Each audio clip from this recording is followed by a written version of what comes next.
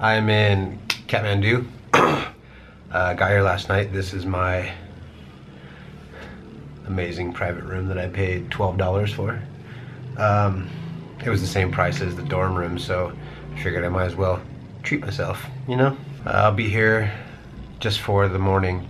I gotta catch a bus to uh, Changu where I'll be staying for the next like three weeks. Um, uh, waiting for the Adventure Fit travel dudes to get here.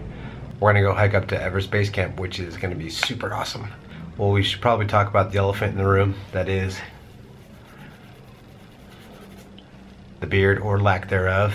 Uh, when I was in Dubai, I thought, who has some of the most amazing beards on earth? The Arabs do. So I should get my beard trimmed by the Arabs. I told the guy, just the sides, not the bottom. Just the sides, not the bottom. He said, okay, okay, okay, okay. And then I lay back and he does all the things and gets everything all ready and then the trimmer just goes right up the front. So now it's sleek. But whatever, it grows back, right? Uh, that's what I'm doing and I don't know what the internet's gonna be like so I may have to make a trip into Kathmandu once a week to catch up on all the internets and post videos and whatnot so cool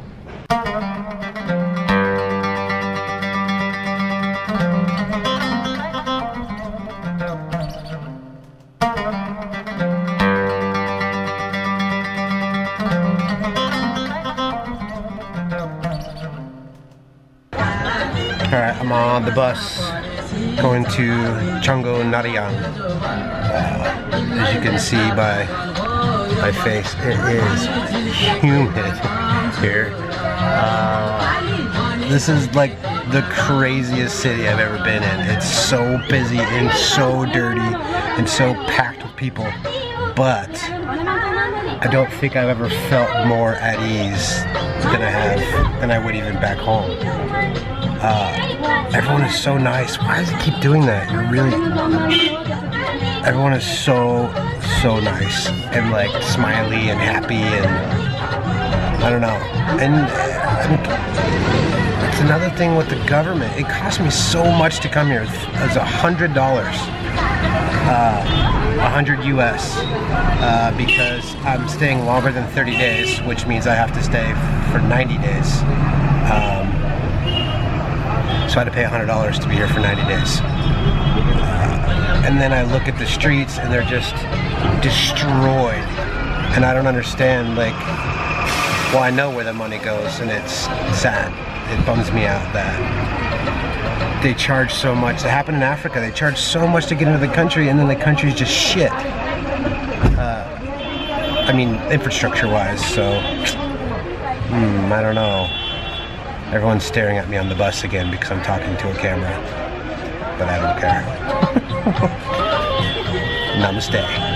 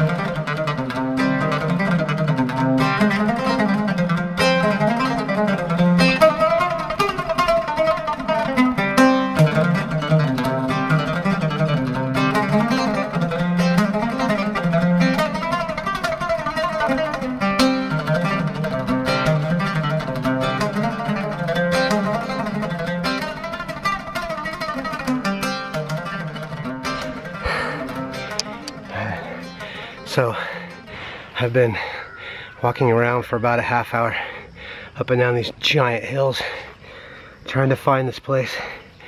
And every person that I've asked has pointed me in a different direction. So I'm just gonna sit down for a minute. Try not to get frustrated. And uh, I'm gonna stay. And uh, continue. It's humid as fuck here. and I've been at sea level for the last two months, three months.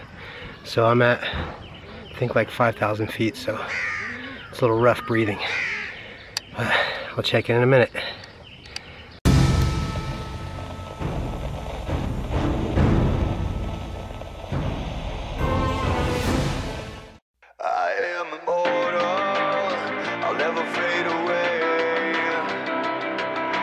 Legacy that lives beyond